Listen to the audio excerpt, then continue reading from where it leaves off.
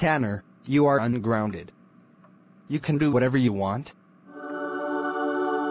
Thank you. You're so nice.